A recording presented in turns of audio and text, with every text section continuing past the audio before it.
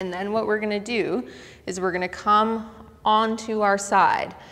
Now, we're gonna straighten out that back leg. We're gonna give that back hip a little bit of a break.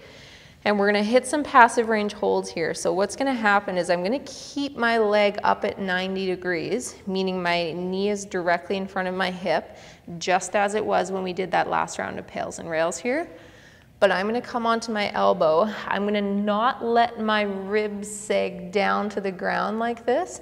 I'm gonna do a little bit of a plank. I'm gonna lift those ribs up, which will make it harder for me to externally rotate that leg. As soon as you let those ribs sag, it actually tilts your pelvis in a way that makes it easier for you to get your foot up.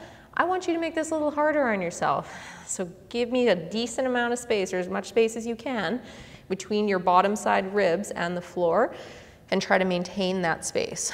Now we're gonna do some external rotation passive range holds here. You're gonna have to test if you externally rotate that hip, can you reach and grab somewhere along your leg? If you can't, you might have to loop something around your leg. Could be a band, could be a sweater, could be a blanket, could be a sheet, whatever you have accessible to you.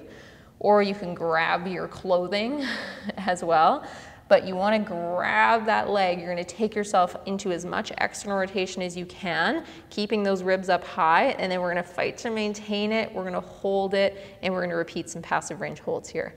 So do a quick test, see if you can reach your leg, see if you can get some leverage on your leg to bring it up. If you can't, hit pause, go find whatever object you need in order to make that happen, and then come back and join us. Now we're gonna do six of these here. You're not gonna get much of a breather in between, so prepare yourself here. Big breath in. Let's see what we have for active. We're gonna come in, we're gonna take out all that passive range. Don't let those ribs get saggy on me. Keep those ribs up. Big breath in, try and solidify this position. Hold, hold, hold, hold, hold. Hand comes back in, take any slack out.